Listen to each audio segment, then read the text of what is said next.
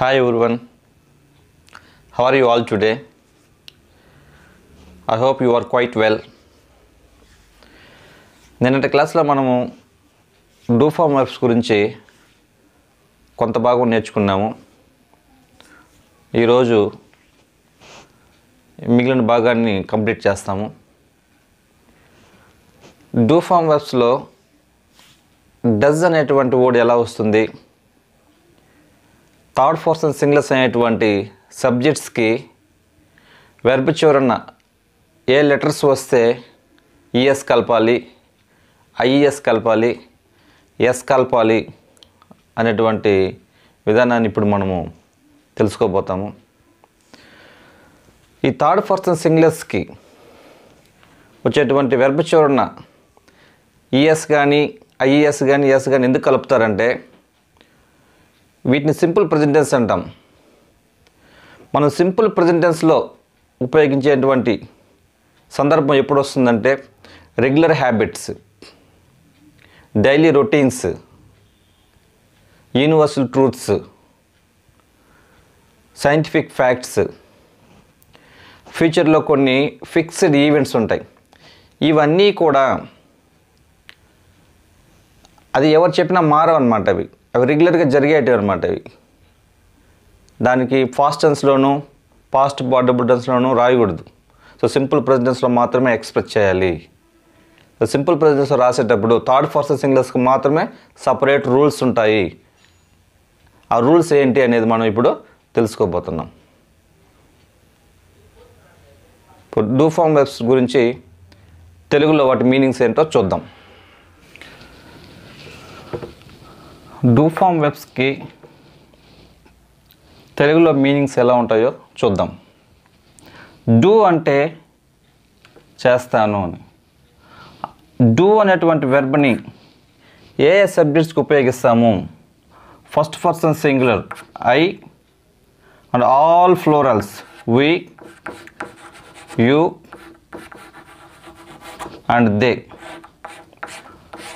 first person singular I and all plurals all ఫ్లోరల్స్కి do అనేటువంటి వెర్బ్ని ఉపయోగిస్తాము. ప్రజెంట్ టెన్స్లో అది గుర్తుపెట్టుకోవాలి మనం. అది ప్రజెంట్ టెన్స్లోనా పాస్ట్ టెన్స్లోనా పార్ట్ పార్టిబుల్ టెన్స్లోనా మనం తెలుసుకోవాలి. ఎప్పుడు యూజ్ చేస్తామంటే ప్రజెంట్ టెన్స్లో యూజ్ చేస్తాము. ఐ డూ మై వర్క్ నా పని నేను చేస్తాను. వీ డూ అవర్ వర్క్ మా పని మేము చేస్తాము. యూ డూ యువర్ వర్క్ నీ పని నువ్వు చేయగలవు. దే డూ దేర్ వర్క్ వారి పని వారు చేస్తారు. సో ఈ విధంగా మనము డూ అనేటువంటి వెర్బ్ని రిమైనింగ్ ఆల్ సబ్జెక్ట్స్కి అంటే ఫస్ట్ పర్సన్ సింగులర్కి రిమైనింగ్ ఆల్ ఫ్లోరల్స్కి ఎలా యూజ్ చేయాలో తెలుసుకున్నాం ఇప్పుడు డజ్ డజ్ అనేటువంటి వెర్బ్ని only third person singulars only third person singulars he she it.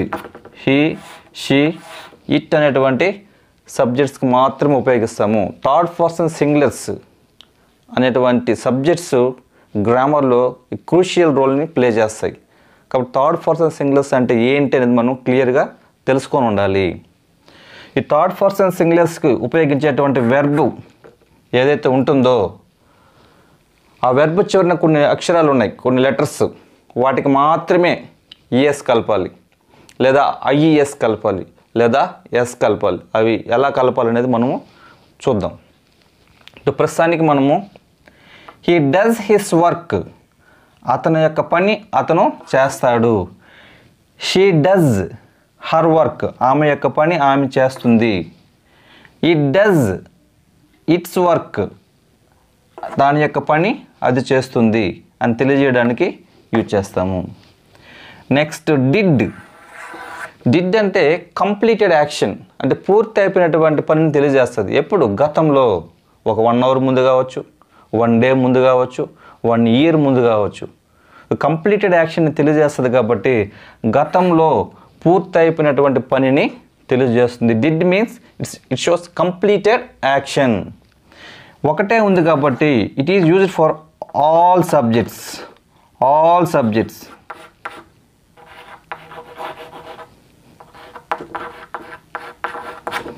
it is used for all subjects అంటే అన్ని సబ్జెక్ట్స్కి యూజ్ చేస్తాము. అన్ని సబ్జెక్ట్స్ అంటే మనకు ఉండేది సెవెనే సెవెన్కి మనము యూజ్ చేస్తాం ఎందుకంటే ఒకే వర్డ్ ఉంది కాబట్టి డిడ్ అనేది.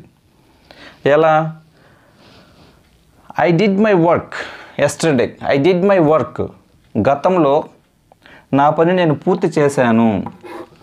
నా పని నేను పూర్తి చేశాను. వీ డిడ్ అవర్ వర్క్ మా పని మేము పూర్తి చేశాము. యూ డిడ్ యువర్ వర్క్ నీ పని నీవు పూర్తి చేశావు. హీ డిడ్ హిస్ వర్క్ అతని పని అతడు పూర్తి చేశాడు. షీ డిడ్ హర్ వర్క్ అంటే ఆమె పని ఆమె పూర్తి చేసింది. దే డిడ్ దేర్ వర్క్ వారి పని వారు పూర్తి చేశారు. అని తెలియజేయడానికి డిడ్ అనేటువంటి వెర్బ్ని యూజ్ చేస్తాము. అదేవిధంగా నెక్స్ట్ డన్ డన్ ఒకటే ఉంది కాబట్టి it is also used for all subjects so done ఎక్కడ యూజ్ చేస్తాం మనం అనేది మనం ఇదివరకే తెలుసుకున్నాం. It is used for just completed action just complete అయిన పనికి ఉపయోగిస్తాము. లేదా ఒక పని ఎప్పుడో మొదలయ్యి ఇంకా జరుగుతుంది. ఇంకా మన కళ్ళ ముందు జరుగుతూ ఉంది అని తెలియజేయడానికి కూడా ఈ డన్ అనేటువంటి వర్డ్ని ఉపయోగిస్తాము. సో నెక్స్ట్ థర్డ్ పర్సన్ సింగులర్స్కు ఉపయోగించేటువంటి వెర్బ్ చివర ఏ లెటర్స్కి మనము ఈఎస్ కలపాలి? ఏ లెటర్స్కి మనము ఐఈఎస్ కలపాలి? ఏ లెటర్స్కి మనము ఎస్ కలపాలి అనేది మనము తెలుసుకుందాం.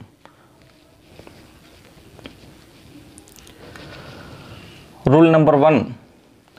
Third person singulars subjects తర్వాత వచ్చే వెర్బ్స్కి చివర O X C H S H U S S S అనే లెటర్స్ ఉంటే ఆ వెబ్స్కి ఈఎస్ అనే లెటర్స్ను యాడ్ చేయాలి. యాడ్ చేయడం వల్ల అప్పుడు ఏమవుతాయి సింపుల్ ప్రజెంటెన్స్ అవుతాయి. ఈ సింపుల్ ప్రజెంటెన్స్లో ఉన్నటువంటి రూల్ అనమాట ఇది. ఇది కంపల్సరీగా మనం పాటించాల్సి వస్తుంది. ఎందుకంటే రెగ్యులర్ హ్యాబిట్స్ని యూనివర్సల్ ఫ్యాక్ట్స్ని సైంటిఫిక్ ఫ్యాక్ట్స్ని మనం రెఫర్ చేయాలంటే వాటిని సింపుల్ ప్రజెంటెన్స్లోనే రెఫర్ చేయాలి. ద సింపుల్ ప్రజెంటెన్స్లో ఒక థర్డ్ పర్సన్ సింగులర్స్కి మాత్రమే ఈ స్పెషల్ రూల్స్ అనేటివి ఒక త్రీ ఉన్నాయి. ఆ త్రీ వేవ్ అనేది మనము ఖచ్చితంగా తెలుసుకోవాలి. Rule number one rule number వన్లో ఇవి ఉంటాయి. ఈ లెటర్స్తో ఎండ్ అయితే వెర్బ్స్ థర్డ్ పర్సన్ సింగిల్స్ తర్వాత వచ్చే వెర్బ్ చివర ఈ లెటర్స్తో ఎండ్ అయితే వాటికి మనము ఈఎస్ అనే లెటర్స్ను యాడ్ చేస్తే అప్పుడు అది సింపుల్ ప్రజెంటెన్స్ అవుతుంది. సో ఈ లెటర్స్తో ఎండ్ అయ్యేటువంటి పదాలు ఏమున్నాయి ఇప్పుడు చూద్దాం. లెటర్స్ ఏమంటే O X C H S H U S S S అనేటువంటి లెటర్స్తో వెర్బ్స్ కానీ ఎండ్ అయితే థర్డ్ పర్సన్ సింగ్లెస్ సబ్జెక్ట్ తర్వాత వచ్చేటువంటి వెర్బ్కి చివర ఈ లెటర్స్ ఉన్నట్లయితే వీటికి మనం ఈఎస్ యాడ్ చేయాలి. అప్పుడు మాత్రమే అది సింపుల్ ప్రజెంటెన్స్ అవుతుంది. ఆ వర్డ్స్ ఏమనేది చూద్దాం. ఓతో ఎండేటువంటి లెటర్స్ కొన్ని వెర్బ్స్ ఉన్నాయి. ఆ వెర్బ్స్ చివరన ఓ వచ్చినట్లయితే వాటికి మనం ఈఎస్ యాడ్ చేయాలి. డూ డూ అనేటువంటి పదంలో ఓ అనే లెటర్ ఉంటుంది. కాబట్టి డజ్ అనాలి. గో అనేటువంటి పదంలో ఓ లెటర్ ఉంటుంది గోస్. డజ్. Do does. అంటే ఒక పని చేస్తాను అని తెలియజేయడం. Go goes. గో. వెళ్తాను. అంటే ఈ ఎస్ చేర్చడం వలన ఈ సింపుల్ ప్రజెంటెన్స్లో థర్డ్ పర్సన్ సింగులర్స్కి వచ్చేటువంటి సబ్జెక్ట్స్ ఉన్నాయి.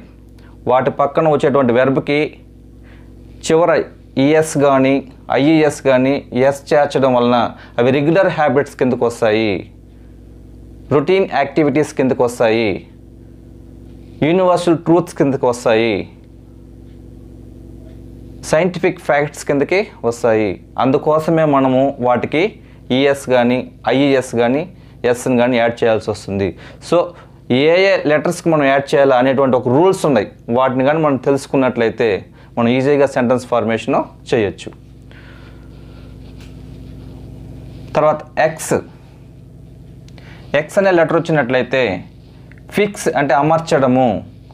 ఫిక్సెస్ మిక్స్ అంటే కలపడము. మిక్సెస్ నెక్స్ట్ టీహెచ్తో ఎండేటువంటి లెటర్స్. టీచ్ టీచెస్ అంటే బోధించడము వాచ్ వాచెస్ అంటే చూడడము. నెక్స్ట్ ఎస్హెచ్తో అయినటువంటి వర్డ్స్ బ్రష్ బ్రషెస్ బ్రష్ అంటే క్లీన్ చేయడము బురుజు తురపడము క్రష్ క్రషెస్ క్రష్ అంటే నలగొట్టడము. Focus focuses. ఫోకస్ అంటే మన దృష్టిని ఏదైనా ఒక పని మీద కేంద్రీకరించడము. Surplus surpluses. సర్ప్లస్ అంటే మనకు కావాల్సిన దానికంటే కూడా అధికంగా ఉండేదాన్ని ఏమంటామంటే సర్ప్లస్ అంటాం. More than needed more than sufficient is call surplus అంటే మనకు కావాల్సిన దానికంటే అధికంగా ఉండేదాన్ని సర్ప్లస్ అంటాం. నెక్స్ట్ ఎస్ఎస్తో ఎండేటువంటి పదాలు. డిస్కస్ డిస్కసెస్ అనాలి అంటే చర్చించడము. ఎక్స్ప్రెస్ ఎక్స్ప్రెసెస్ ఎక్స్ప్రెస్ అంటే మన ఫీలింగ్స్ని తెలియచేయడము. సో ఈ విధంగా ఈ లెటర్స్తో ఎండ్ అయ్యేటువంటి పదాలు వచ్చినప్పుడు వాటికి ఈఎస్ చేర్చడం వలన అవి ఏమవుతాయంటే సింపుల్ ప్రజెంటెన్స్ కిందకు వస్తాయి. రెగ్యులర్ హ్యాబిట్స్ కిందకు వస్తాయి. రెగ్యులర్ హ్యాబిట్స్ కిందకి వస్తాయి. యూనివర్సల్ ఫ్యాక్ట్స్ కిందకి వస్తాయి. సైంటిఫిక్ ఫ్యాక్ట్స్ కిందకి వస్తాయి. సో ఈ విధంగా మనము ఈ లెటర్స్ తర్వాత వచ్చేటువంటి పదాలకి ఈఎస్ కలపడం నేర్చుకున్నాం. Next second rule rule number two third person singular subjects తర్వాత వచ్చే వెబ్స్ చివరన వై అనే లెటర్ ఉండి ఆ లెటర్ కంటే ముందు కాన్సనెంట్ లెటర్ ఉన్నట్లయితే వై అనే లెటర్ని రిమూవ్ చేసి ఆ పదానికి ఐఈఎస్ అనే లెటర్స్ను యాడ్ చేయాలి. ఆ వెర్బ్ చివర కాన్సనెంట్ లెటరు ఉండి దాని తర్వాత వై అనేటువంటి లెటర్ ఉన్నట్లయితే అప్పుడు మాత్రమే ఈ రూలు వర్తిస్తుంది. సో వై అనే లెటర్ రిమూవ్ చేసి ఆ ప్లేస్లో ఐఈఎస్ అనే లెటర్స్ని యాడ్ చేయడం వల్ల అప్పుడు అది సింపుల్ ప్రజెంటెన్స్ కిందకి వస్తుంది. The verbs which ends by the letter Y followed by the consonant letter then only we use this rule. We remove Y in that place we add I S for that letter. Then only it becomes simple present tense so ఆ ఓట్స్ ఏమున్నాయనేది ఇప్పుడు మనము చూద్దాం. So second రూల్లో భాగంగా మనము add I A S to the verb for third person singulars. Third person singular subject తర్వాత వచ్చేటువంటి వెర్బ్. ఆ వెర్బ్ చివరిన వై లెటర్ ఉండి దానికంటే ముందు కాన్సనెంట్ లెటర్ ఉన్నట్లయితే అప్పుడు వైని రిమూవ్ చేసి ఆ ప్లేస్లో ఐఈఎస్ని యాడ్ చేయాలి. అప్పుడు అది సింపుల్ ప్రజెంటెన్స్ కిందకి వస్తుంది. Try tries I try he tries try అంటే ప్రయత్నించడం. ఐ ట్రై టు డూ నేను ప్రయత్నించాను చేయడానికి. హీ ట్రైస్ టు డూ అతడు ప్రయత్నించాడు చేయడానికి. ఇట్లా వాడతాం. Next cry. క్రైస్. చూడండి ఓట్ చివరన వై లెటర్ వచ్చి దానికంటే ముందు కాన్సనెంట్ లెటర్ ఉన్నట్లయితే అప్పుడు మాత్రమే వై ప్లస్ వై రిమూవ్ చేసి వై ప్లస్లో ఐఈఎస్ని యాడ్ చేయాలి. స్టడీ. క్రై అంటే ఏడవడం cry cries. Study. Studies study. ఈ వర్డ్ మనకు కాన్సనెంట్ వై లెటర్తో ఎండ్ అయింది. ప్లస్ దాని ముందు కాన్సనెంట్ లెటర్ ఉంది. కాబట్టి వై రిమూవ్ చేసి ఐఈఎస్ని రాస్తాము. సో ఈ విధంగా సెకండ్ రూల్ ఏమంటే వై లెటర్తో ఎండ్ అయ్యి దానికంటే ముందు కాన్సనెంట్ లెటర్ ఉంటే అటువంటి సమయంలో వైని రిమూవ్ చేసి ఐఈఎస్ యాడ్ చేయడం వల్ల ఈ వెబ్స్ అన్ని సింపుల్ ప్రజెంటెన్స్ కిందకి వస్తాయి. సో ఇప్పుడు final rule third rule third rule పై రెండు రూల్స్కి సంబంధం లేకుండా థర్డ్ పర్సన్ సింగులర్ సబ్జెక్ట్స్కు వాడే వెబ్స్ చివరన ఏ లెటర్ వచ్చినా ఏ లెటర్ వచ్చినా ఆ పదానికి ఎస్ అనే లెటర్స్ను యాడ్ చేయడం వల్ల అవి సింపుల్ ప్రజెంటెన్స్ కిందకి వస్తాయి. అంటే ఇదివరకు మనం రెండు రూల్స్ నేర్చుకున్నాం. ఫస్ట్ రూల్ ఏమంటే ఈఎస్ యాడ్ చేయడం. సెకండ్ రూల్ ఏమంటే ఐఈఎస్ని యాడ్ చేయడం. ఆ రెండు రూల్స్కి సంబంధం లేకుండా ఆ వెర్బ్ చివరిన ఏ లెటర్ వచ్చినా వవల్ లెటర్ వచ్చినా కాన్స్టెంట్ లెటర్ వచ్చినా మనము ఎస్ యాడ్ చేస్తే సరిపోతుంది.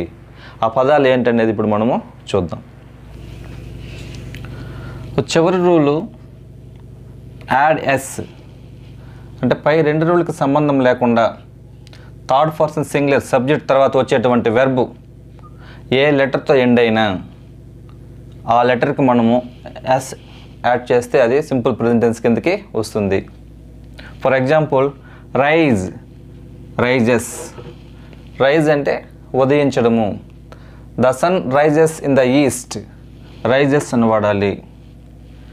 సెట్ ఇక్కడ చూడండి ఓవర్ లెటర్ ఉంది. ఇక్కడ కాన్సనెంట్ ఉంది ఈ లెటర్తో ఇంకా మనకు సంబంధం లేదు.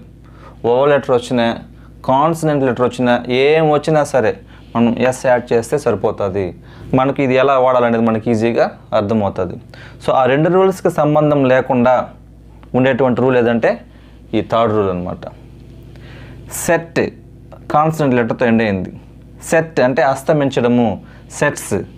The sun sets in the west అంటాం. సెట్స్ అంటే అస్తమించడము. పే అంటే మనీ పే చేయడం అనమాట పే పేస్ డబ్బులు కట్టడం. ప్లే ఆడటం. Plays he plays cricket she plays tennis